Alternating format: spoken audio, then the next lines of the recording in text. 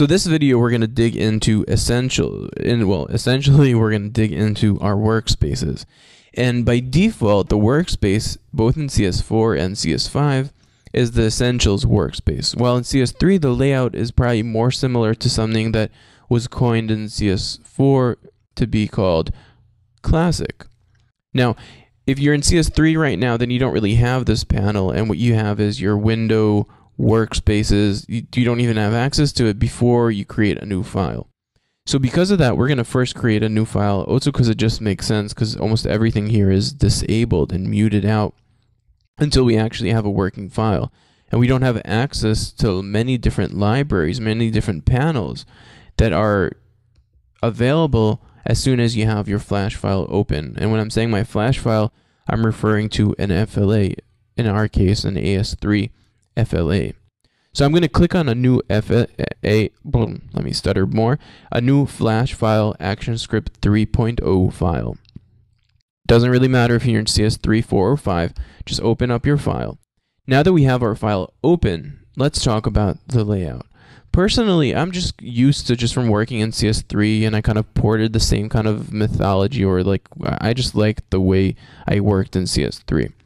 Nothing bad about the new Essentials view in uh, CS4 or CS5. I was just comfortable with it and what's brilliant brilliant about Adobe is they didn't take away my control of setting it up the way I like to set it up. And the way we could do that is just by clicking on our Essentials menu or going through our window workspaces and selecting the classic view.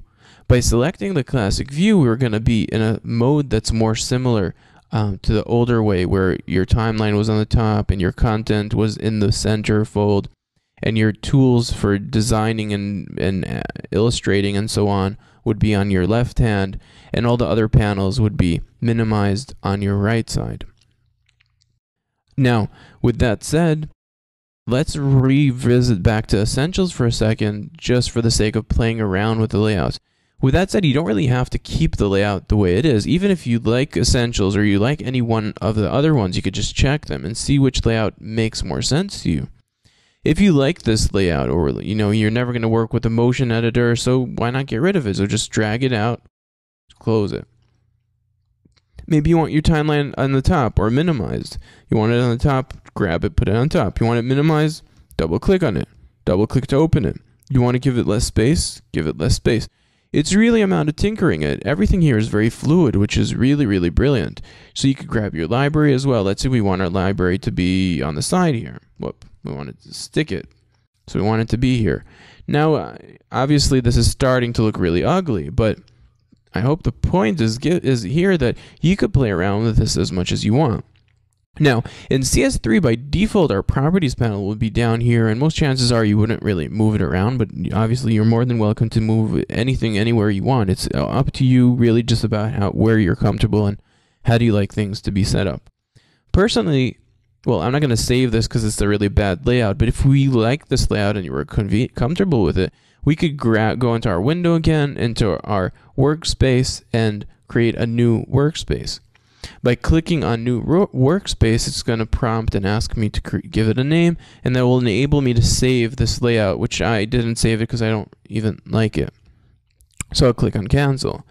Now I could, on the other hand, create a layout that I do like. And a layout that I do like is Ben, which I pre-saved already earlier, which is basically just kind of similar to the classic view where my timeline is on the top. And the big difference, which is not that big, is that my properties panel is right here. Okay, so it's kind of like for me, I like that. My output is right here. My compiling errors are right here. So as we're running the application, for me, that's most organized. Now, obviously, when you're watching the videos, if things don't look exactly the same, they don't have to look exactly the same. As long as you could find the different output windows, eh, the different the different panels that are important. And we're going to touch all those panels in this intro video. Alrighty. Now, next thing I wanted to talk about is let's let's see how you could create your own Ben panel before well or your own panel if you want to work in a panel similar. So I'm going to select classic because it's close to what I like. And what I'm missing here is I'm missing my properties, right? I'm actually not missing my properties. My properties is there. Oh, let me reset classic. Here we go. So this is how classic looks like by default, right? This I already tinkered with it earlier, so that's the reason why it looked differently. So what I've done, all I really did is dragged out my properties, and after I dragged my properties out, I just added it into the top, and now it's in the top of my list, and I got my properties, and I could probably make it a little bit bigger so it's easier to see all the content inside as we click into it and click out of it. And that that way it keeps my main center area cleaner. Now I'm missing here a few panels. I'm missing my trace, so I'm going to go to Window, and I'm going to look for trace. Where is trace? Well, we want compiling errors as well. Output.